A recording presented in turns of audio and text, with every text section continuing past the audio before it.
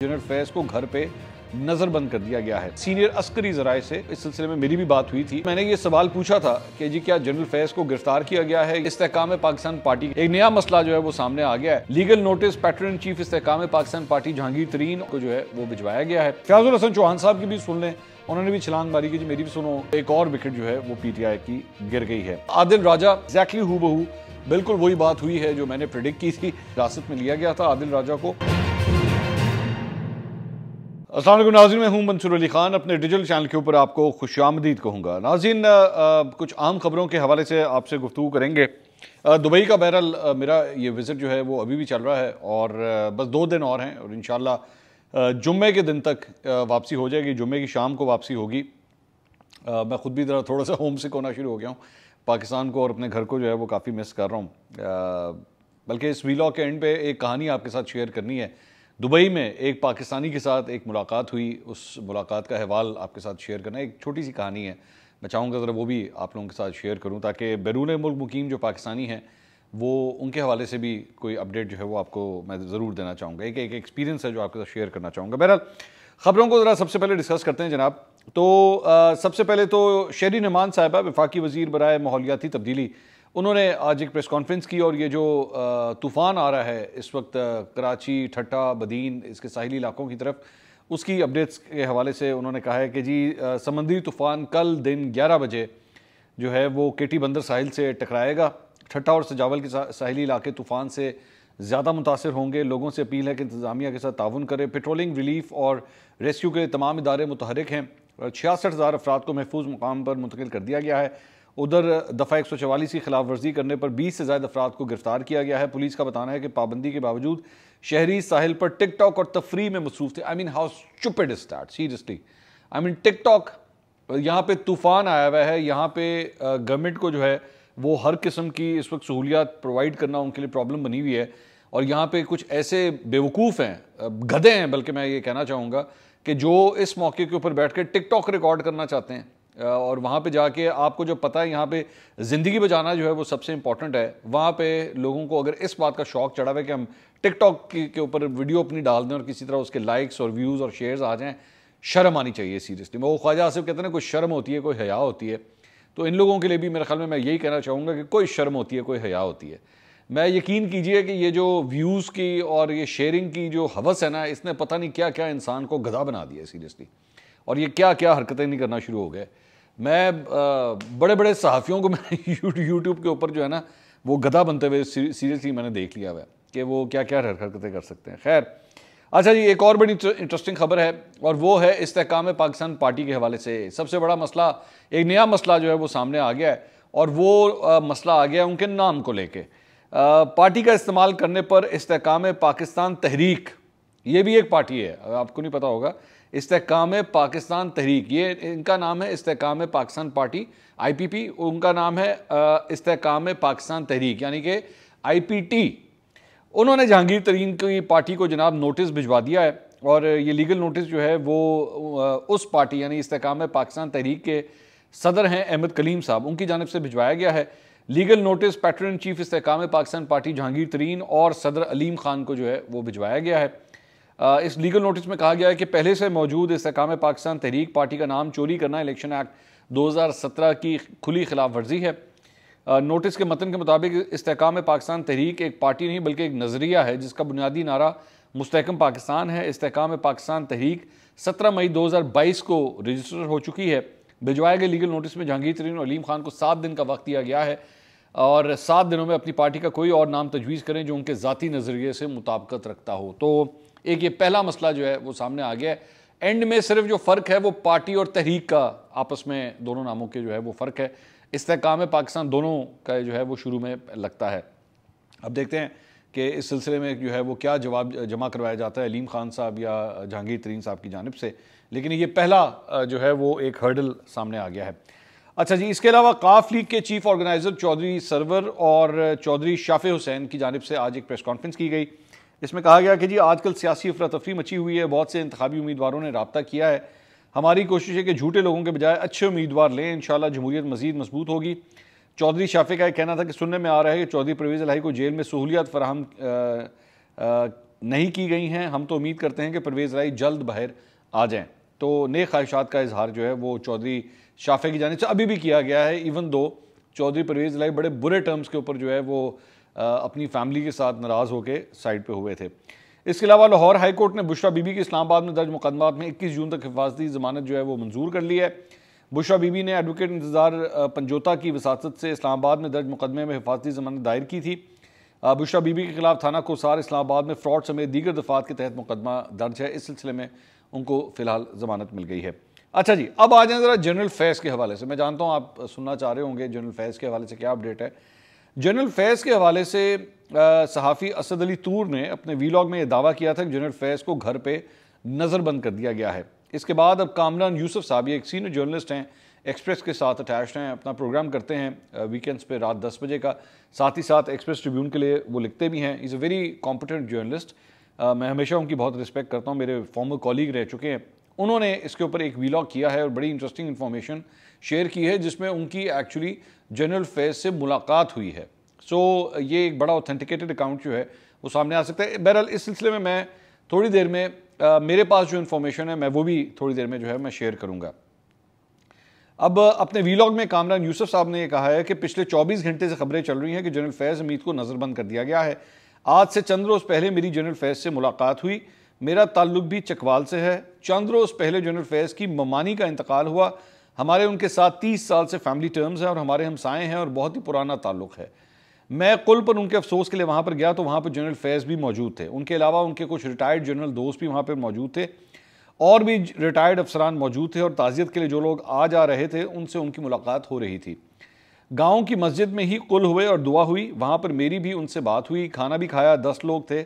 उनमें मैं भी शामिल था तो वहाँ पर मुझे तो ऐसा कोई तासर नहीं मिला कि वो नज़रबंद है या उनकी मूवमेंट पर कोई कदगन है। या उनके किसी से मिलने पर कोई पाबंदी है। मेरी वहाँ पर मौजूदगी से कोई वो कोई बहुत ज़्यादा कंफर्टेबल नहीं थे। ज़ाहिर है उनको पता था, मेरी वाबस्तगी मीडिया से है। इसलिए मैंने कोई सियासी बातचीत नहीं की, लेकिन वहाँ पर कुछ लोग सियासी बातचीत कर रहे थे। जैसे कि परवेज़ राय की गिरफ्तारी की बात हुई चकवाल के लोकल एम पी ए हैं, यासिर सरफराज, उनसे मुतल बात हुई कि वो पी टी आई छोड़ गए हैं। जनरल फैज़ ने तासर दिया कि इस वक्त पाकिस्तान की जो सूरत हाल है, सियासत में जो चल रहा है, उससे वो मुकम्मल तौर पर नावाकिफ़ है और उनको किसी चीज़ का भी अंदाज़ा नहीं है। एक मौके पर जब मैं उनसे बात कर रहा था तो सामने एक शख्स वीडियो बना रहा था तो उन्होंने, यानी जनरल फैज़ ने उससे पूछा जो वीडियो बना रहा था, कि आप ये वीडियो क्यों बना रहे हैं? तो उसने बताया कि उसका ताल्लुक मीडिया से नहीं है और ना ही वो इसको सोशल मीडिया पर डालने का कोई इरादा रखता है। जिस पर जनरल फैज़ ने कहा कि ये ना हो कि शाम को तमाम चैनल्स पर यह वीडियो चल रही हो, कि जी जनरल फैज़ अपने गाँव में सियासी उमूर पर बातचीत करते हुए तो उस पर काफ़ी कहका लगा और वहाँ पर एक बुज़ुर्ग ने कहा कि रिटायर्ड तो आप हो गए हैं, लेकिन जब आप पर बात होती है तो रैंकिंग आती है। वो कहना ये चाह रहे थे कि रेटिंग आती है। तो इस पर भी कहका लगा? तो मैंने ये अक्स किया कि जनरल फैज़ ने सियासत पर जो भी बात हो रही थी, उस पर कॉमेंट करने से गुरेज किया। मैं तकरीबन डेढ़ दो घंटे वहाँ पर मौजूद रहा और ये लगता है कि उनकी नज़रबंदी या नकलो हरकत महदूद की गई है। और जो लोग ये समझ रहे हैं कि जनरल फैज़ के खिलाफ कोई कार्रवाई होगी तो मुझे मुस्तबिल करीब में ऐसा होता नज़र नहीं आता। ये कामरान यूसुफ साहब ने जो है ये बात ऐड की है। आ, मैं इस सिलसिले में मेरे पास जो इन्फॉर्मेशन है मैं थोड़ी सी आपके साथ शेयर कर देता हूँ। मेरी आ, एक बड़े ही आ, सीनियर ज़राए से सीनियर अस्करी ज़राए से पिछले दिनों इस सिलसिले में मेरी भी बात हुई थी और एक्चुअली जो जो टॉपिक ऑफ़ डिस्कशन था वो कुछ और था। जो, जो मैं कुछ इन्फॉर्मेशन ले रहा था वो कुछ और था लेकिन उसके बीच में ही जो है वो जनरल फैज़ के हवाले से भी गुफ्तु हुई। तो मैंने स्ट्रेट फॉरवर्ड ये बात उस वक्त पूछी थी। आ, लेकिन इस, ये मैं इसमें एक ये डिस्क्लेमर मैं डाल दूँ कि मेरी चंद दिन पहले की बातचीत है और मैं जब चंद दिन कह रहा हूँ तो इसमें कम अज़ कम आ, आप समझ लीजिए एक हफ़्ता पुरानी बात है। तो उसके अंदर मैंने ये सवाल पूछा था कि जी क्या जनरल फैज़ को गिरफ़्तार किया गया है या उनको हाउस अरेस्ट किया गया है? वो क्या या वो वो घर के अंदर बंद हैं? महसूर हैं। तो मुझे भी यही इन्फॉर्मेशन मिली थी कि नहीं, ऐसी कोई बात नहीं है। उनको नज़रबंद या गिरफ़्तार कोई, ऐसा कुछ नहीं किया गया। उनकी मूवमेंट के ऊपर भी ऐसा कोई रिस्ट्रिक्शंस नहीं है। लेकिन लेकिन, उसमें एक लेकिन का लफ्ज़ शामिल है और मुझे जो मेरे ज़रिए ने ये बात कही, उन्होंने कहा कि देखिए कभी कभार ये ज़रूर होता है कि चंद लोग जारी बात है, जनरल फैज़ हो गए या रिटायर्ड जनरल बाजवा हो गए या जो दीगर फॉर्मर आर्मी चीफ्स रहे हैं, चाहे वो जनरल मुशरफ ही क्यों ना हो उनकी सिक्योरिटी को लेकर जो है वो आ, हमेशा वो हाईलाइटेड ज़रूर रहते हैं क्योंकि वो प्रोमिनेंट फिगर्स हैं। तो इंटेलिजेंस की जानब से ऐसे शख्सियात के ऊपर जो है वो एक सिक्योरिटी कॉर्डन जो है वो ज़रूर बनाया जाता है। लेकिन इसका मतलब ये नहीं होता कि वो खुद इस सिक्योरिटी कॉर्डन की वजह से कहीं पे जा नहीं सकेंगे। तो अगर कोई कोई सूरत हाल हो, हुई भी होगी तो वो कुछ इस सूरत हाल में हो सकता है कि उनको सिक्योरिटी प्रोवाइड करने के लिए जो है वो ये सूरत हाल हो। लेकिन एज सच अभी तक उनको कोई हाउस अरेस्ट नहीं किया गया। अब सीक्रेटली क्या उनको मॉनिटर किया जा रहा है या नहीं किया जा रहा है, इसके बारे में मैं कुछ नहीं कह सकता। लेकिन यहाँ पे कामरान यूसुफ साहब चूँकि खुद जनरल फैज से मिले हैं so I will definitely I will vouch for him कि वो जो भी बात कह रहे हैं, वो बिल्कुल ऑथेंटिक अकाउंट जो है वो पेश कर रहे होंगे। और ऐसी कोई बात फ़िलहाल जो है वो नज़र नहीं आती कि उनको जो है वो नज़रबंद कर दिया गया या कैद कर दिया गया है। अलबत् मॉनिटरिंग हो सकता है, हो सकता है, ये मेरा एक तजिया है कि हो सकता है हो रही हो, और सिक्योरिटी के लिए जो है उनके ज़रूर इंतज़ाम जो हैं वो ज़रूर किए गए हों। अच्छा जी, इसके अलावा आदिल राजा पिछला वीलॉग मैंने जिस तरह आपके सामने रखा था एग्जैक्टली हु बहू बिल्कुल वही बात हुई है जो मैंने प्रिडिक्ट की थी। वो यही बात सामने आई है कि उनसे मुतलक उनके सॉलिस्टर जो यूके के अंदर इंग्लैंड के अंदर मौजूद है, मेहताब अज़ीज़, उन्होंने इस बात की तस्दीक की है कि जी उनको हिरासत में लिया गया था आदिल राजा को। और पुलिस ने तफ्तीश के बाद अलबत्ता उन्हें रिहा कर दिया है। उन्होंने कहा कि यूट्यूबर आदिल राजा को पुलिस ने तकरीबन आठ घंटे अपनी हिरासत में रखा। आदिल राजा ने पीर को अपना यूट्यूब चैनल बंद करने पर बात की थी। मंगल को यूट्यूबर आदिल राजा की गिरफ्तारी के बाद उनसे रबते की कोशिश की। आदिल राजा और उनकी फैमिली के अरकान के फ़ोन भी फ़िलहाल बंद हैं। ख्याल है कि आदिल राजा को इंतजाद दहशतगर्दी कानून के तहत गिरफ़्तार किया गया। उन्होंने कहा कि यूट्यूबर आदिल राजा किसी गलत काम में मुलविस होते तो मैं खुद पुलिस को रिपोर्ट करता। मुझे यकीन है कि आदिल राजा किसी गलत काम में मुलविस नहीं है। तो आ, मैंने भी आपको पिछली वीडियो के अंदर यही बात की थी कि यूके के अंदर जो है वो क्वेश्चनिंग के लिए आपको बुलाते हैं और एक सर्टन टाइम पीरियड तक वो क्वेश्चन के लिए आपको रख भी सकते हैं। लेकिन उस सर्टन टाइम पीरियड के बाद आपको छोड़ना भी पड़ता है पुलिस को अनलेस और अनटिल उनके पास कोई ऐसे ठोस सबूत ना आ चुके हों कि जिसकी वजह से आपकी गिरफ्तारी अमल में लाई जा सके। अलबत्ता अलबत्ता जितनी देर तक अगर पुलिस ने आपको बुला लिया है क्वेश्चनिंग के लिए और उसके बाद आपके एक पर्टिकुलर कमरे के अंदर अगर आपकी क्वेश्चनिंग जो है वहाँ पे शुरू हो गई है तो फिर आपकी मूवमेंट रिस्ट्रिक्ट ज़रूर हो जाती है। ये नहीं होता कि for that particular movement you're a free man और आप टेबल पीछे करें और कहेंगे अच्छा जी, मैं चल रहा मैं। इस तरह नहीं होता। वो आपको हिरासत में रख सकते हैं। और मेरे ख्याल में आदिल राजा के साथ भी यही हुआ है कि उनको जो है वो क्वेश्चनिंग के लिए तहवील में ज़रूर लिया गया है। इसके ऊपर बल्कि मैं मुर्तज़ा अली शाह साहब, जो एक सीनियर जर्नलिस्ट हैं यूके के अंदर लंदन से रिपोर्ट करते हैं। उन्होंने इसके ऊपर एक ट्वीट किया कि Adil Raja arrested on suspicion of encouraging terrorism in Pakistan और पाक गवर्नमेंट कंप्लेंट वो ये बता रहे हैं कि हुकूमत पाकिस्तान की कंप्लेंट के ऊपर बेसिकली ये सब कुछ हुआ है। और आगे वो कहते हैं कि M Q M leader was arrested and put on trial on the same ground for sixteen August two thousand sixteen Karachi mayhem Altaf Hussain साहब के साथ भी बेसिकली यही हुआ था कि जनाब अपनी तकरीर जो उन्होंने की थी, उसकी वजह से कराची में हालात काफ़ी ख़राब हुए थे। तो उसके बाद उनको भी इस तरह हिरासत में जो है वो लिया गया था। लेकिन पिछले साल अल्ताफ़ हुसैन साहब जो हैं वो किंगस्टन क्राउन कोर्ट की ज्यूरी ने जो है उनको बरी कर दिया था उन तमाम चार्जेस से। तो आदिल राजा के बेशक उनको हिरासत में अगर रख भी लिया हो the charges could be there but it has he is not the charges have not been proven अभी तक जो है उनको सज़ा ऐसा किसी चीज़ की नहीं हुई है। तो इसलिए अलबत् ये ज़रूर है कि उनको हिरासत में लिया गया so it's still a long way to go अभी ये नहीं कहा जा सकता कि वो गिल्टी हैं या फ़िलहाल वो नॉट गिल्टी हैं। फ़िलहाल एटलीस्ट वो नॉट गिल्टी हैं। आदिल राजा ने एक्चुअली इसके ऊपर जो है वो ट्वीट भी किया है। वो ट्वीट भी मैं आपके साथ शेयर करता हूँ। उसमें उन्होंने कहा कि there have been rumours about me and my welfare अलहमदिल्ला I am well I remain fully committed to raising a voice against fascism and for democracy in Pakistan I will continue to advocate people's democratic right to peaceful protest as the only way to bring about real change. A sea of peaceful protesters can achieve the change which violent protests cannot as violence can only be counterproductive. The only way forward for Pakistan to bring political and economic stability, which every Pakistani, regardless of political affiliation, desires, is through free and fair elections and uninterrupted democracy. All institutions working within their powers, as mandated by the Constitution, are vital for the success of Pakistan.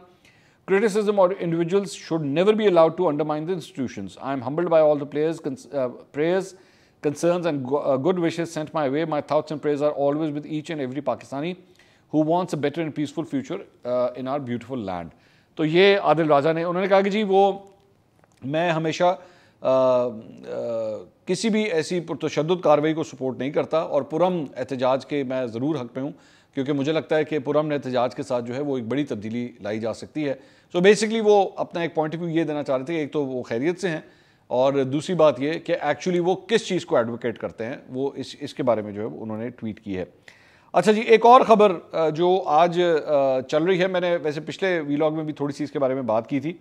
वो ये है कि shell petrol petroleum company ने जो है वो पाकिस्तान में अपने शेयर्स फ़रोख्त करने का फ़ैसला किया है। वो लेटर भी जो है ये आप स्क्रीन के ऊपर देख सकते हैं। उसके बाद पीटीआई रहनुमाओं की जानब से जो है बड़ी तनकीद का सिलसिला शुरू हो गया कि जनाब ये देखें ये पीडीएम की गवर्नमेंट के अंदर जो है वो शेल पाकिस्तान छोड़ के जा रही है। और वो पाकिस्तान के सियासी हालात को इस फैसले की वजह करार देते हैं। फ़रूख हबीब साहब ने पाकिस्तान तरीके साहब के जो रहनुमा हैं उन्होंने एक्चुअली ट्वीट किया multinational are on way out from Pakistan now Shell has decided to sell its shareholding from Pakistan the reasons include highly uncertain political environment regulated markets, capital controls, import restrictions, policy inconsistency, and higher taxes.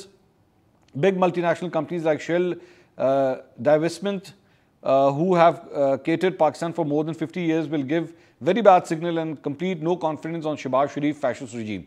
उन्होंने कहा ये हुकूमत की वजह से ये वजह हुकूमत की वजह से जो है वो शेल कंपनी जा रही है तो आदिल शाहजेब साहब उन्होंने रॉयटर्स की खबर जो है वो ट्वीट की एंकर पर्सन है उन्होंने कहा भाईजान Shell has decided to exit its home retail energy businesses in Britain Germany and the Netherlands too due to their poor returns. It's a stretch decision. Uh, read this. तो उसके बाद Reuters की जो खबर थी वो आदिल ने uh, उसको शेयर किया हुआ था 6 जून की ये खबर है कि उसमें लिखा हुआ था Shell said on Tuesday that it has decided to exit it home retail energy businesses in Britain Germany and Netherlands due to the poor returns Shell launched strategic review of its European retail businesses in January citing tough market condition Shortly after CEO Wael uh, Simon uh, took office, that review has now concluded, and as a consequence, we intend to exit those businesses. A sale process is already underway with the intent to reach an agreement with a potential buyer in the coming months. So basically, uh, खबर के मुताबिक shell जो है वो already बरतानिया Germany और Netherlands वहाँ से भी जो है वो अपने इस तरह बिजनेसेस जो पेट्रोल पंप वगैरह के बिजनेसेस हैं और जो रिटेल के बिज़नेस हैं उससे वो ऑलरेडी एग्जिट करने का इरादा रखता है और इसकी वजह से वो ये फैसला जो है वो पाकिस्तान के साथ भी जो है वो इसीलिए ये सब कुछ हो रहा है कि वो यहाँ से मूव आउट करना चाहते हैं। तो असल बा, असल बात जो है वो ये थी। लेकिन मेरा इसके ऊपर एक पॉइंट ये है कि जारी बात है जब भी कोई एक बड़ी मल्टीनेशनल जो है वो एक मुल्क को छोड़ के जाती है ये कोई अच्छे साइंस एंड सिग्नल्स नहीं होते। और एक कंपनी ऐसी शेल कंपनी जो पिछले कई दहाइयों से पाकिस्तान के अंदर काम करती रही है बल्कि मुझे बल्कि मैं ये कहना चाहूँगा कि पाकिस्तान के अंदर जो एक बिल्कुल नया कॉन्सेप्ट था पेट्रोल पम्प्स को लाने का उनको रीडिज़ाइन करने का वो एक्चुअली शेल ने शुरू किया था but with the passage of time फिर पीएसओ जो है उसने टेक ओवर कर लिया और P S O become became the biggest market player ये पेट्रोल और पेट्रोल स्टेशन के हवाले से। तो लेकिन एक अफसोसनाक बात है लेकिन यहाँ पे मतलब दीगर कंपनीज़ चाहे टोट, टोटल हो जाए या पी एस ओ हो जाए और अटक हो जाए इस तरह और बहुत सी कंपनीज़ हैं जो ऑलरेडी पाकिस्तान के अंदर काम कर रही हैं। फयाजुल हसन चौहान साहब की भी सुन लें। उन्होंने भी छलांग मारी कि जी। मेरी भी सुनो, ये शेल कंपनी जो बाहर जा रही है, इसके ऊपर मैं क्या कह रहा हूँ? उन्होंने कहा जी, जब रूस से सस्ता तेल आएगा और अमरीका की मर्ज़ी और मंशा के बरखिलाफ डॉलर्स के बजाय बाटर सिस्टम के तहत कारोबार होगा तो अमरीकी कंपनियाँ पाकिस्तान से भागेंगी। अमरीका से हकीकी आज़ादी की जंग शुरू हुई है तो मखसूस पार्टी के तर्जुमानों को खुश होना चाहिए। एब्सोलूटली नॉट हम कोई ग़ुलाम तो नहीं है। तो ये बेसिकली अपनी पुरानी पार्टी को ही जो है वो ताना दे रहे थे कि जी, आपको तो खुश होना चाहिए कि अमरीकी कंपनी जो है वो पाकिस्तान से जा रही है क्योंकि हमने रूस के साथ जो है कारोबार किया है। चौहान साहब को कख नहीं पता कि वो क्यों जा रहे हैं और उसकी क्या वजूहत हैं। और बाय द वे ये वही चौहान साहब हैं जो खुद पाकिस्तान तरीके इंसाफ में जब थे तो ये भी इसी तरह अमेरिका को गालियाँ देते थे और अमेरिका को बुरा भला कहते थे। लेकिन अब चूँकि पार्टी बदल गई है तो फिर ये अपनी ही पुरानी जमात को जो है ताने दे रहे मैंने वही कहा ना, मैं हमेशा कहा चौहान साहब को कख नहीं पता। इन्होंने बस बीच में उन्होंने कहा थोड़ा जब मेरा भी हिस्सा पालो। मेरी भी गल सुन लो, मैं भी ज़रा इसके बारे में कुछ कहना तो पता तो इनको कुछ नहीं है। अच्छा जी, इसके अलावा एक और ख़बर जो है, वो ये है कि जनाब पाकिस्तान तरीके इंसाफ में एक बड़ी नई तकरीरी हुई है और अली नवाज़ अवान साहब, जो बड़े एक प्रोएक्टिव पाकिस्तान तरीके इंसाफ के रहनमा हैं, उनको एडिशनल सेक्रेटरी जनरल पाकिस्तान तरीके इंसाफ मुकर कर दिया गया है। मेन स्ट्रीम मीडिया के ऊपर बड़ा एक्टिवली हमेशा अपना रोल अदा करते हैं। तो उनको एक ही एडेड रिस्पॉन्सिबिलिटी जो है वो मिली है। इसके अलावा पाकिस्तान तहरीक इंसाफ की सबक रुकन पंजाब असम्बली सानिया कामरान उन्होंने पीपल्स पार्टी में शमूलियत जो है वो इख्तियार कर ली है।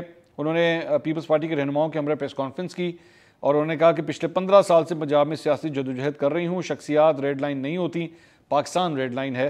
नौ मई के बाद जो वाक़ पेश आए इंतहाई अफसोसनाक हैं, कप्तान के इर्द लोग पुरतशद सियासत करना चाहते थे। तो एक और विकेट जो है वो पी टी आई की गिर गई है। तो ये जनाब, अब तक की अपडेट्स थी। इसके अलावा इन अगली वीडियो में आपसे दोबारा मुलाकात होगी। अल्लाह हाफ़